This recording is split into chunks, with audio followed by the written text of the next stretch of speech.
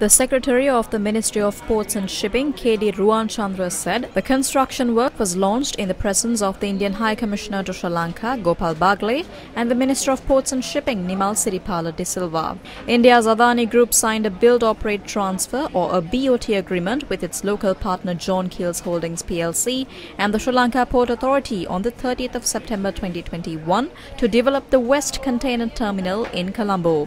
The signing event for the 700 million US dollars was held virtually and 51% shares of the West Container Terminal will be vested with Adani Group. Operations of the West Container Terminal will be carried out by a new joint company named the West Container International Terminal. 51% of the West Container Terminal will be with Adani Group, 34% with John Keells and 15% with the Sri Lanka Ports Authority. That's the look and feel for you, ladies and gentlemen. And we'd like to say thank you now.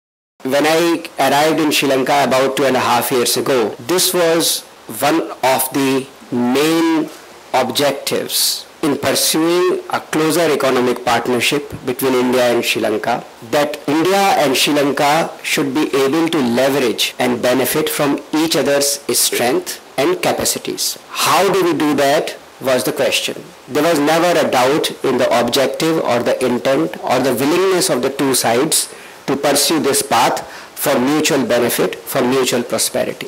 So in two years from now, in the Q3 or Q4 of 24, we hope to see this terminal in, so to say, flesh and bones, receiving the first containers, and in due time, another couple of years at full capacity. This is the biggest FDI project in Sri Lanka in the modern times. So when the Sri Lanka is struggling to earn foreign exchange by various means, this has been a catalyst for our development in Sri Lanka.